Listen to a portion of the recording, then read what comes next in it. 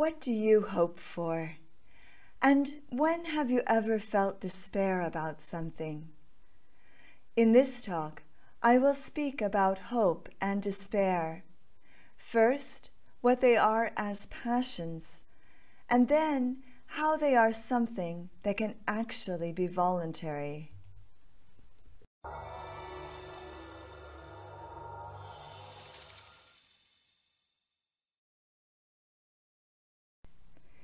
So today we will talk about the passions of hope and despair first, and then hope or despair as something voluntary, as well as the sin of presumption. For an overview of the passions, according to St. Thomas Aquinas, go to the first talk, Passions and Virtues in a Time of Distress, or visit my YouTube channel, Thomistic Studies. Now, let us begin again with the latter part of a prayer attributed to St. Thomas Aquinas. O God, grant that I may never falter, whether in prosperity or adversity, so that I may not be puffed up in the one, nor downcast in the other. Let me rejoice over nothing except what leads to you, nor grieve except over what leads away from you let me never desire to please or fear to displease anyone but you, O Lord my God, who live and reign for ever and ever. Amen. Now, first, I would like to recall a bit what we have learned already concerning the concupiscible and irascible passions, and then focus more on the irascible ones. In the sensitive appetite of our soul, we have two kinds of powers, concupiscible and irascible, by which we experience two groupings of passions, the concupiscible passions and the irascible passions. Again, a passion is a kind of movement in which I undergo an impression from some object. If you recall, the concupiscible passions concern the simple opposition or contrariety of good or evil objects, which is called the contrariety of object. Love, desire, and joy are concupiscible passions regarding what is perceived as good. And hatred, aversion, and pain or sorrow are concupiscible passions regarding what is perceived as evil. Now, the irascible passions, however, in addition to the contrariety of object, good or evil, which is seen again in the passions of love for the good or hatred for evil. There, besides that, there is also there in the irascible passions a contrariety of approach to or withdrawal from a difficult object. That is, the approach or withdrawal is seen as arduous or difficult. The object is arduous or difficult. And so the irascible passions, in addition to the contrariety of object, good or evil, also have a contrariety of approach toward or withdrawal from either a difficult good that is or a good that is difficult to obtain or an evil that is difficult to overcome. In other words, the irascible passions are specified particularly by an object that is difficult or arduous.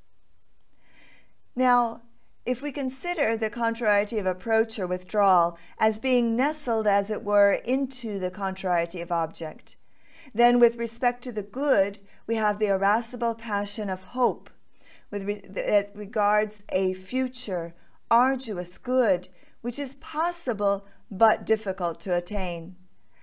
And this is opposed to despair, which has to do with a future, arduous good that is considered as being impossible to attain. And then, with respect to an evil object, we have the irascible passion of daring, insofar as one approaches the evil in order to overcome it, because it is perceived as something that is possible to overcome. And the passion of fear we have insofar as one withdraws or flees the evil because it is viewed as being impossible to overcome. There's also that passion of anger, which I will discuss later, I would just say here that for Aquinas, anger does not have a proper contrary. Anger is that tendency to attack an evil in order to take vengeance upon it. And this passion concludes with either the concupiscible passion of joy, if one has succeeded in achieving vindication, or sorrow if one fails. So the irascible passions are all related to the concupiscible passions, in that they presuppose the concupiscible passions. That is, they may presuppose a love or a hatred for something, since the irascible passions presuppose the seeking of some good or the avoidance of some evil.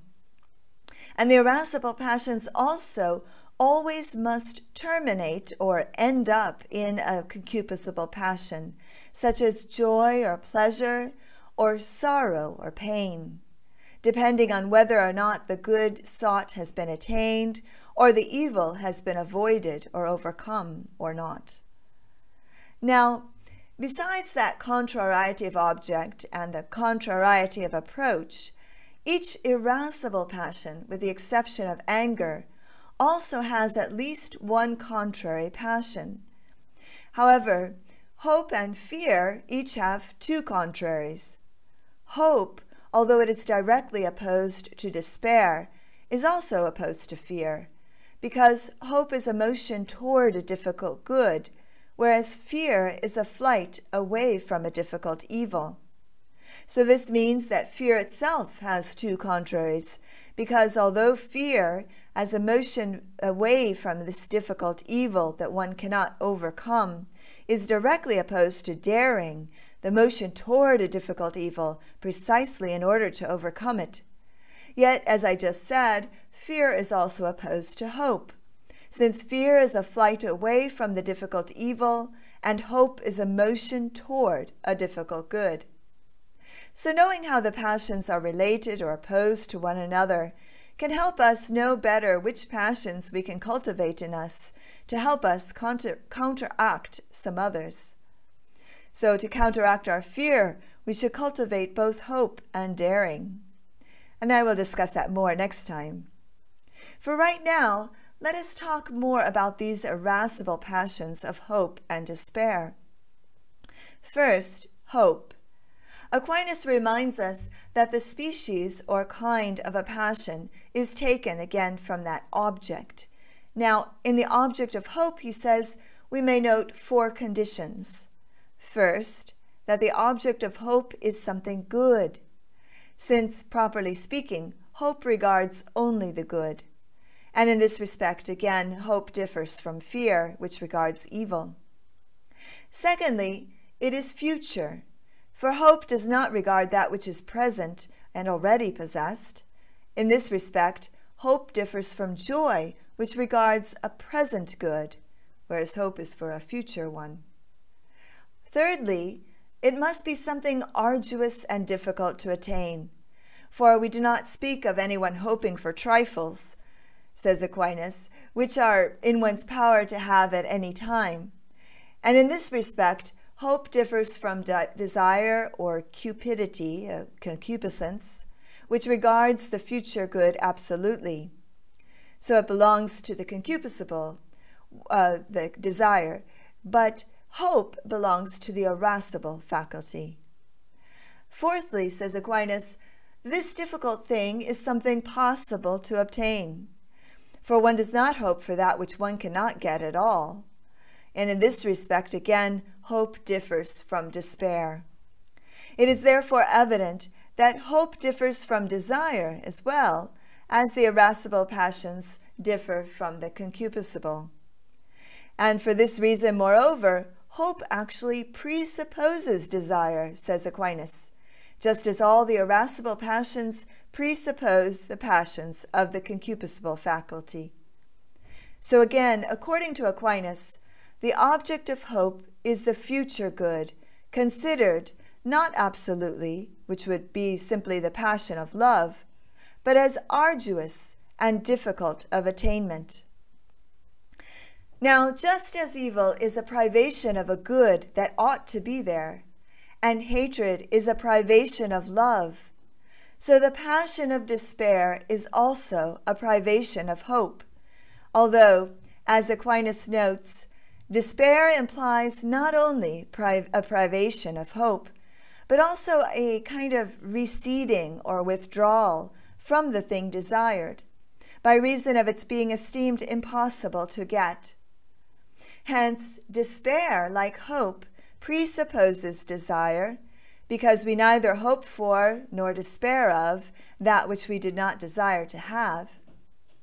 And for this reason, too, each of them regards the good, which is the object of desire.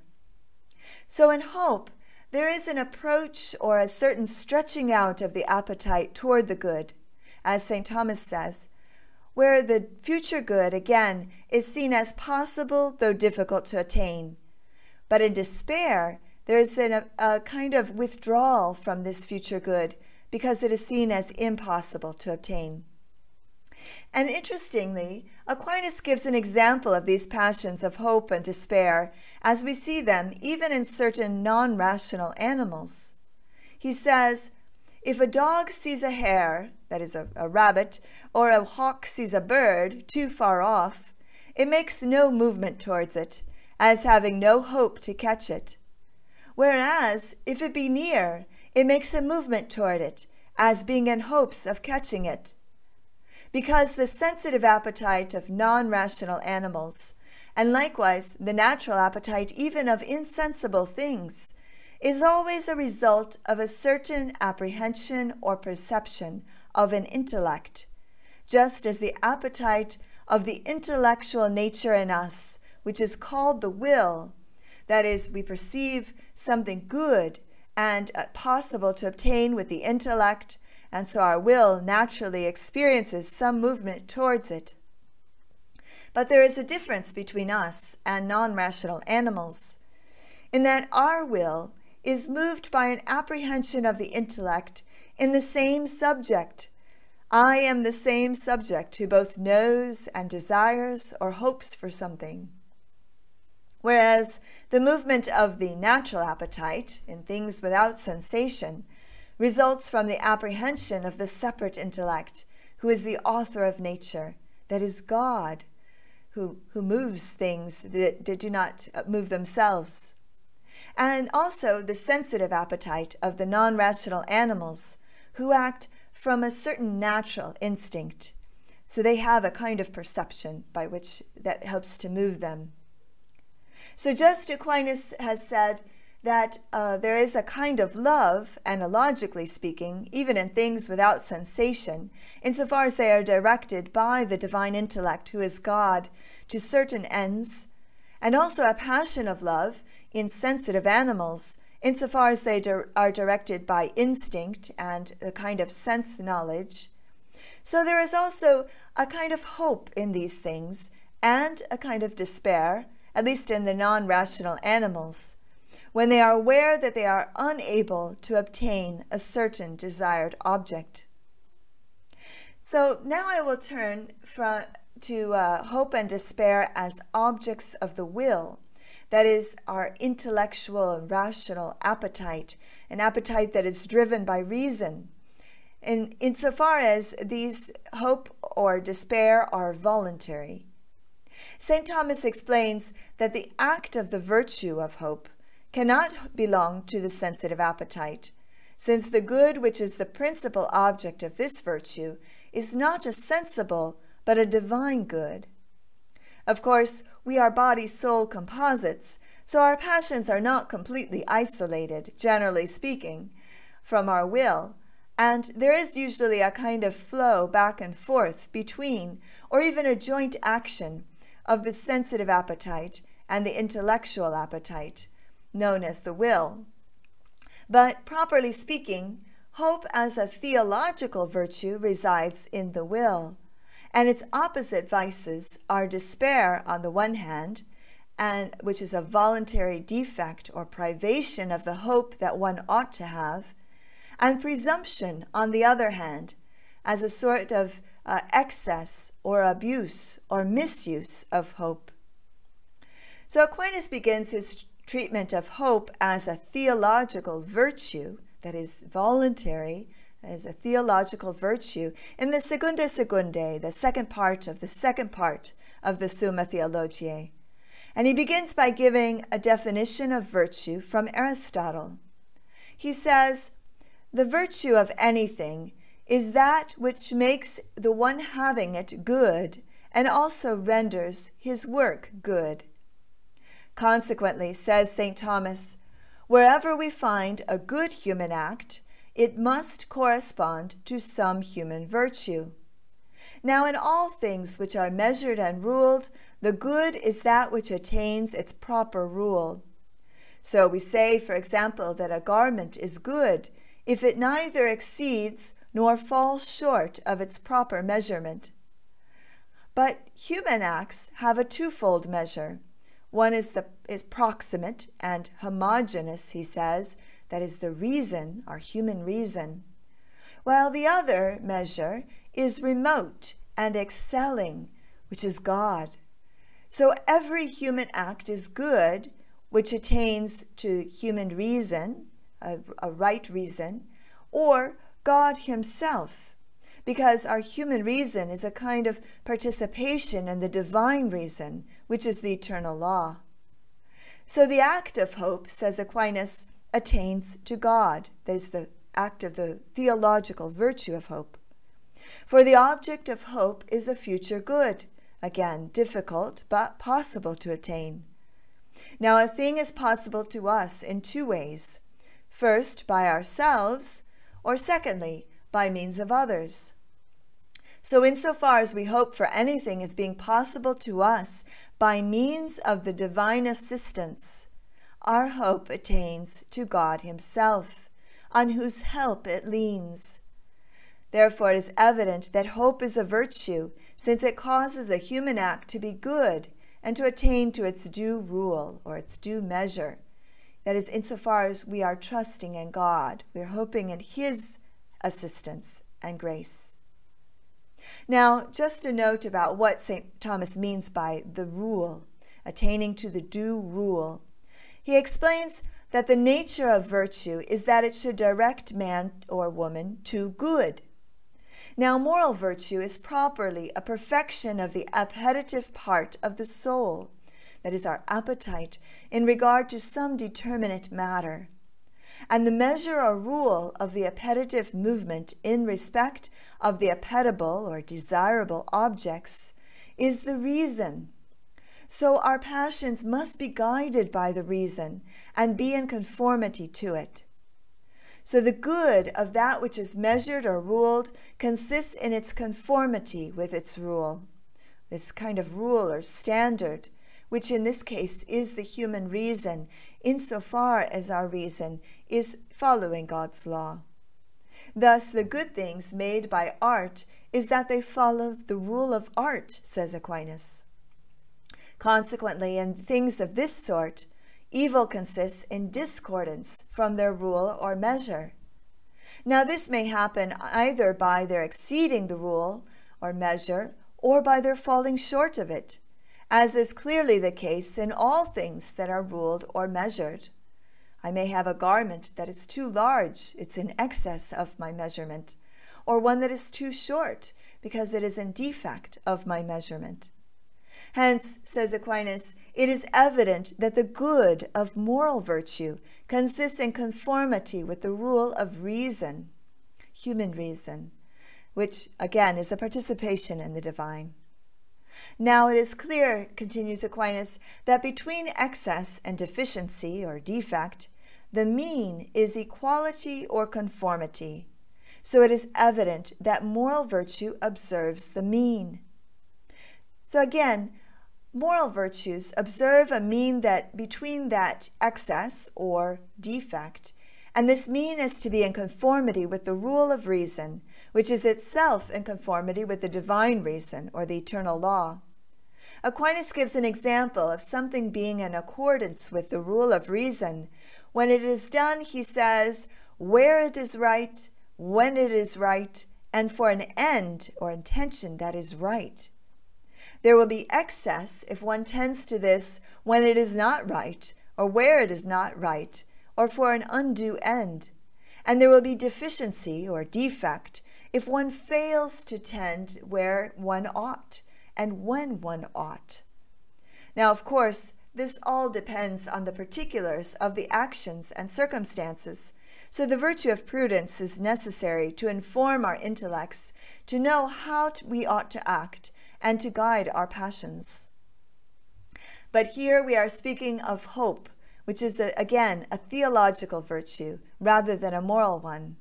So, the observance of a virtuous mean is a bit different because a theological virtue has God as its object and so it cannot really be excessive with regard to the object itself, although it can be excessive with regard to us in a way. St. Thomas explains the mean of virtue depends on the conformity with virtue's rule or measure, insofar as one may exceed or fall short of that rule. The measure of a theological virtue is twofold, or in two ways. One is taken from the very nature of virtue, and thus, the measure and rule of the theological virtue, again, is God Himself, because our faith is ruled according to divine truth, charity according to God's goodness, hope according to the immensity of His omnipotence and loving kindness. This measure surpasses all human power. So we can never love God as much as He ought to be loved, nor believe and hope in Him as much as we should. Much less, therefore, can there be excess in such things. Accordingly, the good of such virtues does not consist in a mean, but increases the more we approach to the summit. However, the other rule or measure of theological virtue is by comparison with us. For although we cannot be borne towards God as much as we ought, yet we should approach to Him by believing, hoping, and loving according to the measure of our condition. Consequently, it is possible to find a mean and extremes in the theological virtue accidentally in reference to us. Now, what does Aquinas want to say here? Well, as I mentioned, the rule in a theological virtue, whether faith or hope or charity, is God Himself, who is also the principal object toward which each of these virtues tend.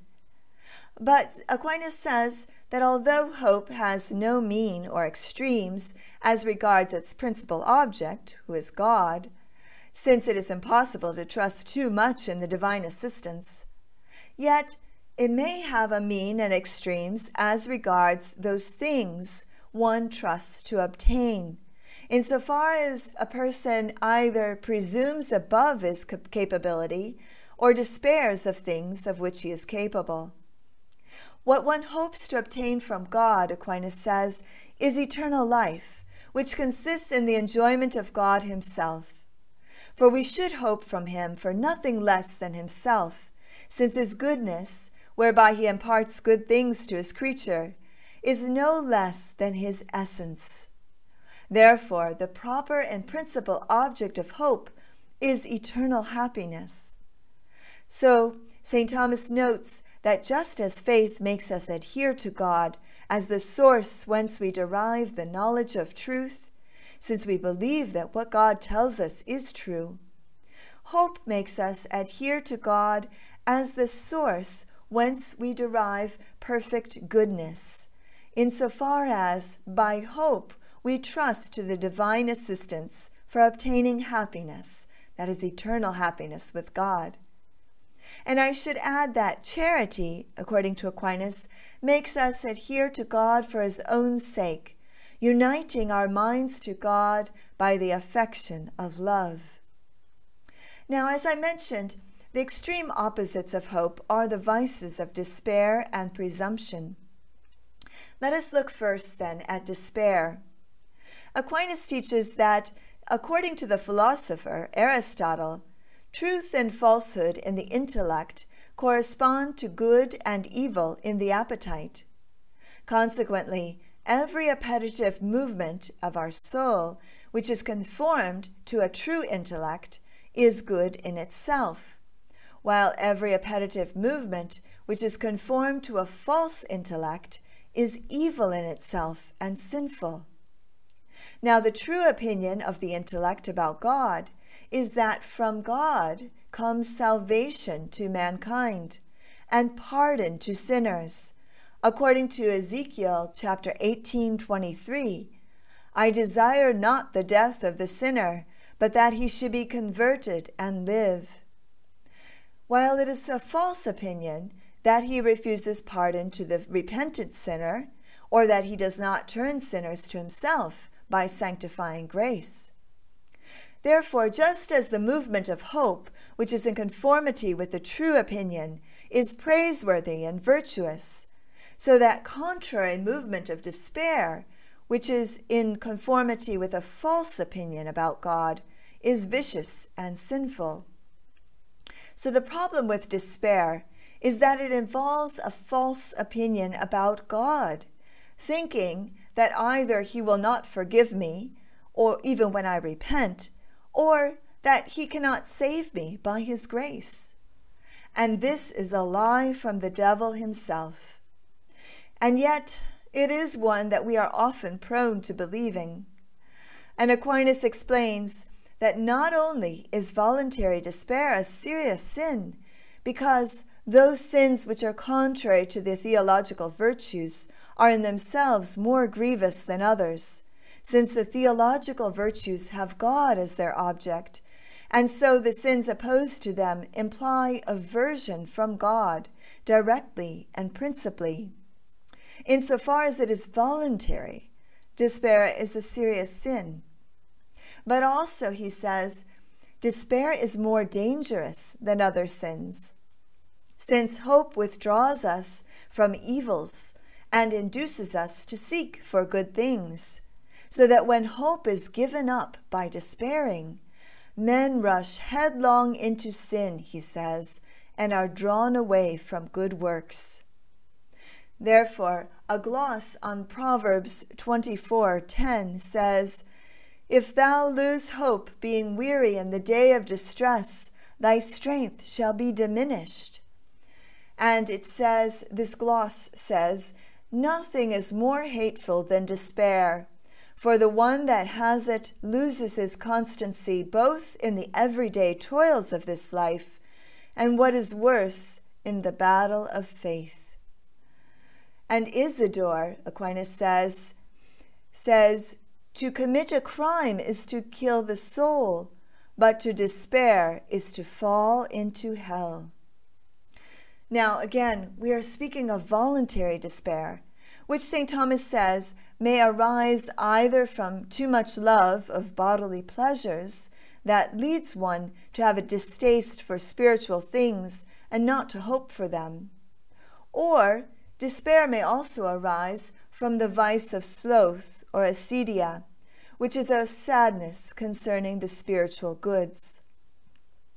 Aquinas explains that the fact that a man de- deems an arduous good impossible to obtain, either by himself or by another, is due to his being over downcast, because when this state of mind dominates his affections, it seems to him that he will never be able to rise to any good. And since sloth or acedia is a sadness that casts down the spirit, in this way despair is born of sloth. So, this is the danger of giving in too much to sorrow or sadness, because it weakens one such that a person may despair of God's help or of being able to obtain the everlasting good and happiness of heaven with God's assistance. For, adds St. Thomas, when one is influenced by a certain passion, he considers chiefly the things which pertain to that passion. So that one who is full of sorrow does not easily think of great and joyful things, but only of sad things unless by a great effort he turn his thoughts away from sadness. So one must make a great effort, with the help of God's grace, to trust in him, to turn away one's thoughts from the kind of sadness that leads to that false view of God. And one way to do this is to consider all the good and favors that God has already given and wants to continue to give to each one of us, and to be grateful for these goods and trust in His continued love, mercy, and assistance in our times of difficulty. So let us turn for a moment then to the opposite vice, which is presumption. Aquinas explains that, as stated with regard to despair, every appetitive movement that is conformed to a false intellect is evil in itself and sinful. Now, presumption is an appetitive movement, since it denotes an inordinate or disordered hope. Now, this is not the theological virtue of hope, but is a disordered passion of hope, which is voluntary. Moreover, presumption is conformed to a false intellect, just as despair is. For just as it is false that God does not pardon the repentant, or that he does not turn sinners to repentance, that is the false conclusion of despair, so also it is false that he grants forgiveness to those who persevere in their sins, and that he gives glory to those who cease from good works. And it is to this estimate that the movement of presumption is conformed. So Aquinas teaches that properly speaking, presumption is not an excessive hope, as though one could hope too much from God.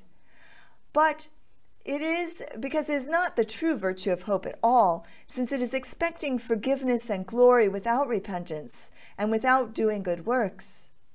But rather, presumption arises from either the vice of vainglory or from pride.